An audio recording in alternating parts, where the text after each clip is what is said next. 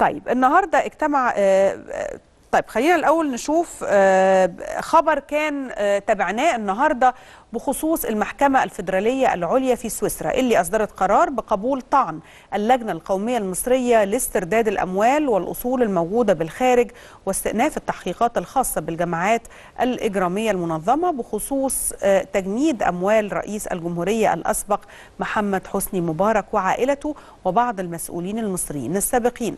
وكذلك بعض رجال الأعمال المدرجين على قوائم التجنيد الصادر آه، بهم قرار من الاتحاد السويسري. ده جه في بيان صادر عن مكتب النائب العام المستشار نبيل صادق بصفته رئيسا للجنة القومية حيث ذكر أن سلطات التحقيق السويسرية سبق أن قررت حفظ التحقيقات فطعنت اللجنة على هذا القرار وتم قبول الطعن النهارده. معانا الدكتور محمود كبيش أستاذ القانون بجامعة القاهرة، مساء الخير يا دكتور واهلا بحضرتك. مساء النور يا فندم واشرح لنا أكتر معنى القرار النهارده بقبول الطعن. يعني إيه إيه اللي بيعنيه هذا الكلام؟ يعني العودة إلى التحقيق مرة أخرى في آه، الجريمة المنظمة لأن هو أستاذ إرهام كان حصل مصر عمل طلب تجنيد الأموال آه، رئيس الأسبق محمد حسني مبارك وبعض المسؤولين ورجال الأعمال. بناء طيب أنا أنا مش سامع حضرتك كويس لو تغير بس مكانك يعني بسيط يا دكتور. ألو؟ أيوه يا فندم اتفضل كمل. ألو؟ أيوه مع حضرتك يا دكتور. ألو؟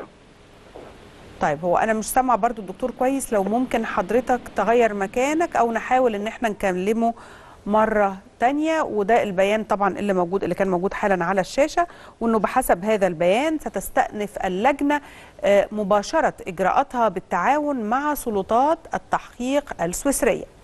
طيب هنحاول إن إحنا نتصل مرة تانية بالدكتور محمود كوبيش آه علشان نعرف منه إيه الخطوة اللي جاية. يعني إيه اللي المفروض إنه آه نقوم بيه؟ إيه الإجراءات المفروض إن إحنا نتخذها بعد قرار آه المحكمة الفيدرالية السويسرية بقبول الطعن النهارده؟ الخطوة اللي جاية إيه؟ وهل ده معناه؟ زي ما كان بيقول دلوقتي بيقول إن فتح التحقيق مرة أخرى ده هيعود علينا إزاي مصير الاموال الموجوده هناك في البنوك هناك آه، إيه؟ والحقيقة الامر ده اتكلمنا فيه كتير طوال الخمس سنين أو ست سنين حتى داخلين دلوقتي على ست سنين منذ قيام ثوره 2011 طيب رجع لنا مرة تانية دكتور محمود كوبيش. معلش يا دكتور ما كناش سامعين حضرتك كويس. كمل لنا بقى معنى هذا القرار النهارده.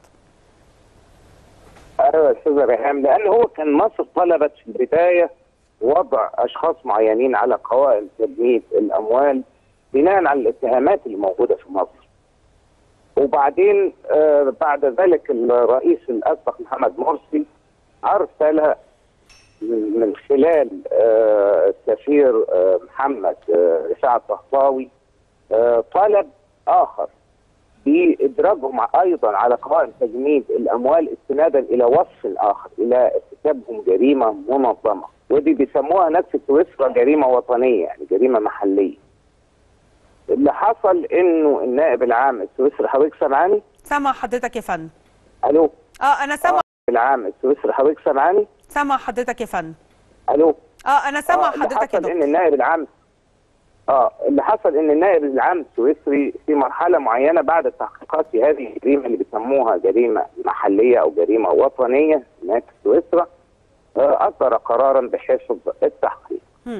آه، طعنت مصر على هذا القرار من خلال طبعا اللجنة القومية لاسترداد الأموال آه، فقضت المحكمة الفيدرالية السويسرية بقبول طعن لجنة استرداد الأموال معناها إلغاء قرار الحفظ والعودة إلى التحقيق مرة أخرى في هذه في هذه القضية. وهل هل ده معناه يعني إنه في أمل أن تعود هذه الأموال في في القريب ال- يعني نقدر نقول المستقبل القريب؟ لا لا ليس معنى ذلك اطلاقا. ده هي على فكرة جريمة محلية. يعني بيسموها domestic crime هناك في في في سويسرا يعني. ده لو ثبتت هذه الجريمة لو افترضنا يعني. آه إيه اللي بيحصل؟ ثبتت آه آه معناها انه سويسرا نفسها اللي تاخذ الاموال يعني لأنه يعني هو مجرد حرمان هؤلاء الأسماء أو الأشخاص من إن هم آه، يعني يقدروا يتصرفوا في هذه الأموال لكن مش هيرجع لنا إحنا. بالضبط. يعني هو ده استمرار لتجميد الأموال بناء على هذا الاتهام اللي هو تم. والاتهام ده برضه عشان نعرف كان تم مباشرة من الرئاسة من الرئاسة أيام الرئيس محمد مرسي مكان رئيس للجمهورية وبناء على مذكرة أرسلها رفاعة الطهطاوي آنذاك إلى الحكومة السويسرية. واستمرت هذه التهمة قائمة وبعد تحقيقها انتهى النائب العام إلى حفظها ثم طعنت لجنه استرداد الأموال على هذا الحفظ. دي اللي حاصل يعني. آه لكن الكلام حكاية عودة الكتير اللي اتقال عدمها دي مسألة أخرى. الكلام الكتير اللي اتقال طول السنين اللي فاتت إنه الفلوس هترجع وإنه يعني هترجع لمصر مرة تانية ده كلام مش صحيح يا دكتور محمود بتقول حتى وإن ثبت إن في أنا الجريمه أنا أنا يعني برؤيتي البسيطة المتواضعة ولأسباب قانونية عديدة. آه ما فيش أموال هترجع يا فندم بناء على هذه الإجراءات. الوسيلة الوحيدة لاعاده الأموال أو للحصول على أموال آه من الخاصه بأشخاص موجودين في الخارج التصالح. هو التصالح معهم. بالضبط يعني للأمانة يعني لأسباب قانونية عديدة. لاسباب قانونية عديدة ربما لا يتسع الوقت لشرحها. شكرا لحضرتك دكتور محمود كوبيش أستاذ القانون بجامعة القاهرة. شكرا ليك.